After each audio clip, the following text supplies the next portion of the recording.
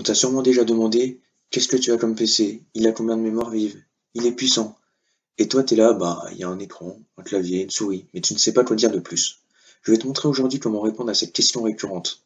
Cela va aussi t'aider à mieux comprendre le matériel que tu utilises, ou même pourquoi pas à te guider dans le choix de ton futur ordinateur. Donc là on se retrouve sur mon ordinateur.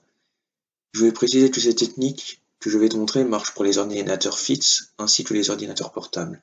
La seule différence est bien entendu l'écran, mais on en reparlera.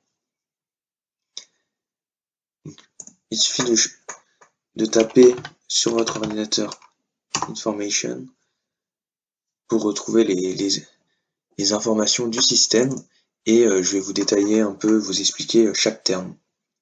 Donc on commence avec euh, l'OS, donc c'est le, le, système, c'est le logiciel principal qu'il y a sur votre PC qui fait que vous pouvez avoir accès à tous ces menus. Tout, ce que vous voyez ici, c'est Windows et suivi de la version. Donc vous, vous aurez sûrement Windows Family ou parfois Windows Pro.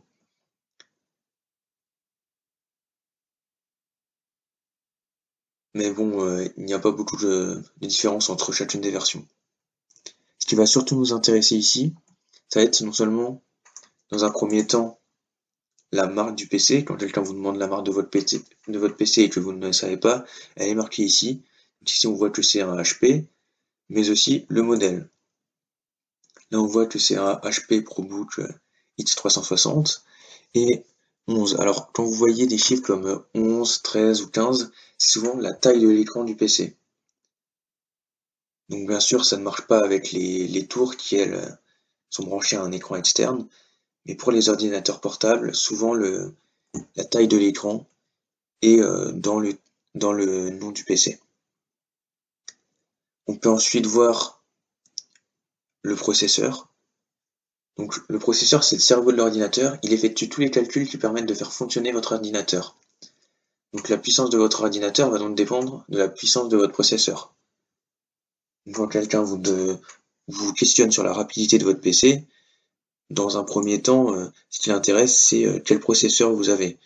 Donc euh, on va être sur, les Intel, ça peut être, là c'est un Celeron, donc c'est un processeur plutôt bas de gamme, mais on a les Intel Core i3, i4, i3, i5, i7, pas i4 non.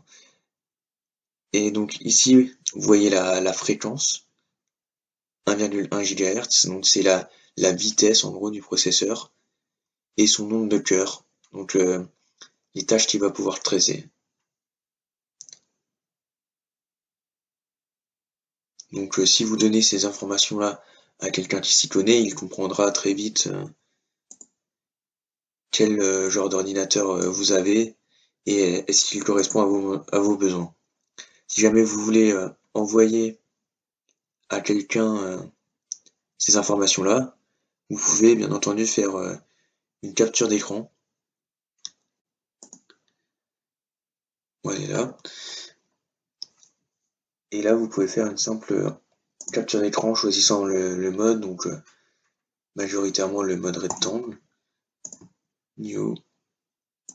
Vous pouvez, voilà, et en copiant ici, vous pouvez envoyer ces informations par mail ou par le logiciel de messagerie que vous préférez et l'envoyer euh, à quelqu'un qui vous, a demandé euh, les performances de votre PC. Ensuite, on voit euh, le nombre de gigas de RAM que vous avez. Donc la mémoire RAM, c'est ce qui va vous permettre d'effectuer plusieurs tâches en, même temps ou d'avoir plusieurs logiciels ouverts simultanément. Elle est surtout très demandée par les logiciels de montage vidéo par exemple. Donc là on voit que c'est un PC qui a 4 Go de RAM, c'est vraiment pas énorme, c'est aujourd'hui on ne fait plus des PC euh, en dessous de 4 Go de RAM. Après si vous avez 8 ou 16, ben, c'est encore euh, beaucoup mieux. Et pour finir, on va s'intéresser au stockage, même si je vous ferai un, petit point après sur euh, la partie graphique. Donc le stockage, vous voyez dans le gestionnaire des fichiers, juste ici.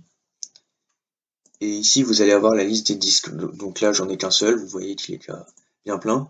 Vous voyez non seulement la capacité du disque, Donc ici, on voit que c'est un, un disque de 117 Go. Donc en vrai, c'est un 128 Go. On appelle ça comme ça, mais 117 Go d'espace disponible.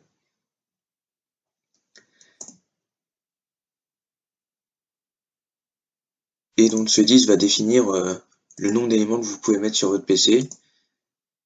Et donc bien sûr, plus vous avez de stockage, mieux c'est.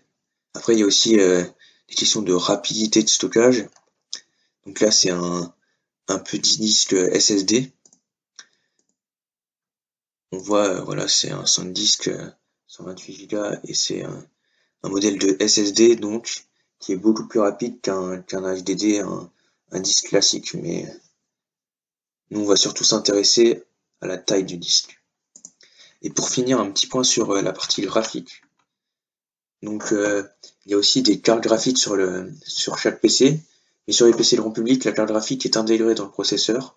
Comme son nom l'indique, elle permet de gérer les graphiques de l'ordinateur et est notamment très sollicitée par les jeux vidéo ou les logiciels de modélisation 3D par exemple. Voilà, on a un peu fait le tour. Donc là, on voit que moi, j'ai pas de carte graphique dédiée, donc c'est le processeur qui va jouer le rôle de carte graphique en même temps. Je pense que j'ai fait le tour euh, des notions de base du PC, donc vous savez à peu près euh, à quoi correspondent euh, les performances de votre PC. Vous, vous pouvez évaluer qu'il est puissant ou pas, est-ce que cela vous suffit ou pas. N'hésitez pas à me dire si ce format de vidéo vous plaît, ce que je devrais améliorer aussi, ou encore les sujets que vous voulez que j'aborde ou les points qu'il faudrait que je développe. Vous pouvez aussi vous abonner à la chaîne pour voir mes prochaines vidéos et liker celle-là si vous voulez du contenu plus régulier. N'hésitez pas à regarder ma dernière vidéo qui s'affiche juste là, sur votre écran, et surtout n'oubliez pas que le meilleur moyen d'apprendre, c'est en pratiquant.